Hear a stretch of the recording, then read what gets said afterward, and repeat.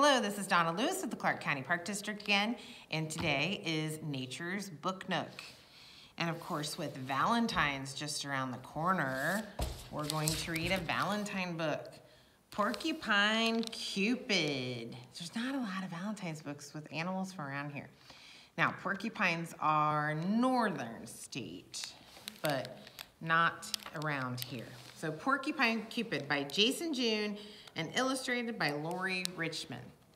I'm sorry if you hear voices in the background, but I am at the building today. It's Valentine's Day, Porcupine said. Oh, he's so excited. Look at all the hearts around the trunk and he is smiling.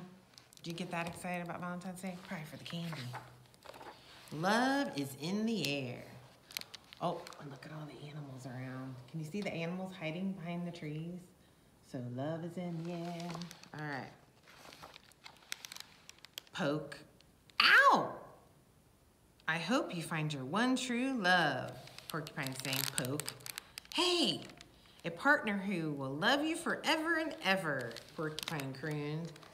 So there he is, poking his friend the raccoon, and looks like a leopard. Oh, I should probably show that again. Probably didn't get a good look at the book. There we go.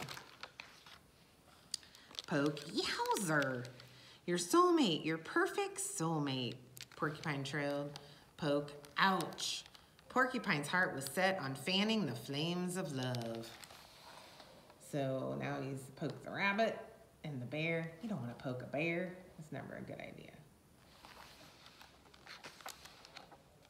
Poke, owie. Poke, don't. Poke, stop. That would be annoying.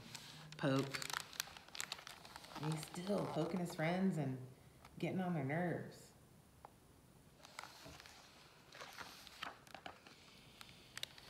Utilizing your quills in such a way is rather bothersome if I do so say so myself. You must be stopped. Good day, sir.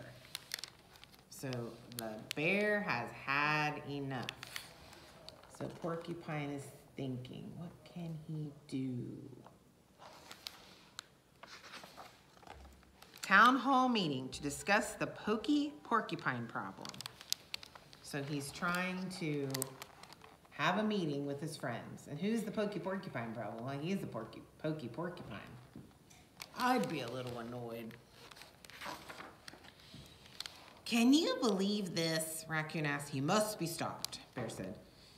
Porcupine has some nerve, Bobcat growled. Oh, that's Bobcat. I said it was a leopard. He poked me on the bottom, Rabbit whispered in embarrassment. Well, that would be embarrassing. You don't want to do that. That's not appropriate. So they're not very happy with Porcupine.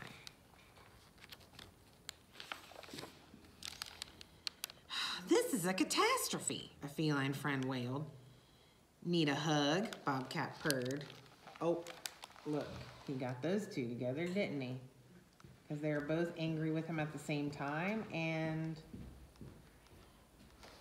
looks like he remedied it. They got together in their anger. Porcupine is unbearable, Grizzly grumbled. I know the feeling, Bear said. Oh, and look, girl bear and boy, boy bear together. It brought them together.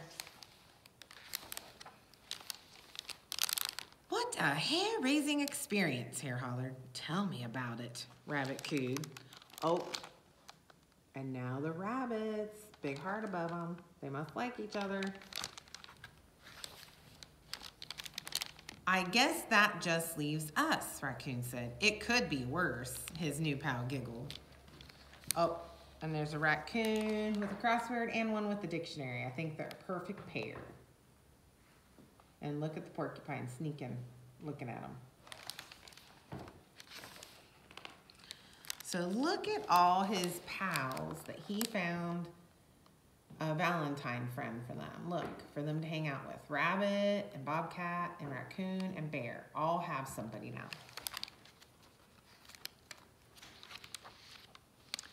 Porcupine sighed.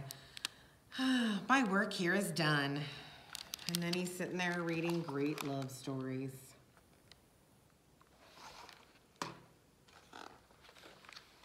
Youch! Oh, somebody got him.